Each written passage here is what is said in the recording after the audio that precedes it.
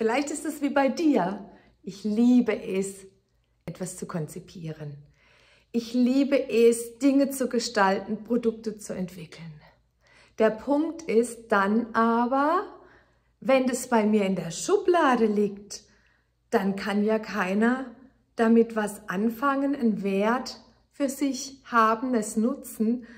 Und diese positive Absicht, mit der man etwas konzipiert, etwas erstellt, kann dann nie realisiert werden. Das heißt, irgendwann kommt der Entscheidungspunkt, ob ich in der Komfortzone bleibe und lieber das nächste Produkt, das nächste Konzept mache oder sag, okay, ich habe alles, es ist alles da, jetzt gehe ich in die Sichtbarkeit und biete auch die Themen an.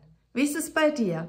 Ich bin gespannt, was du sagst wie viele Dinge du vielleicht auch schon in der Schublade hast. Gut, brauchst du jetzt hier nicht reinschreiben, zugeben oder irgendwie hier nach außen präsentieren. Aber der Punkt ist einfach, wir haben, glaube ich, alle Dinge bei uns, die nach außen so erklärungsbedürftig sind und nicht sichtbar werden.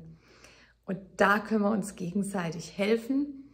Und ich glaube, dafür ist auch so eine starke Community gut, und im Business Upgrade, das wir gemeinsam gestalten, gehen wir genau diese Themen an.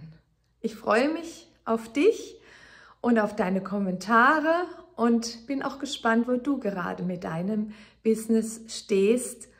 Ja, ob du vielleicht auch auf dem Weg bist in die Sichtbarkeit oder ob du sagst, na, ich muss erst noch das Produkt ähm, verbessern. Ja, lass es mich gerne wissen.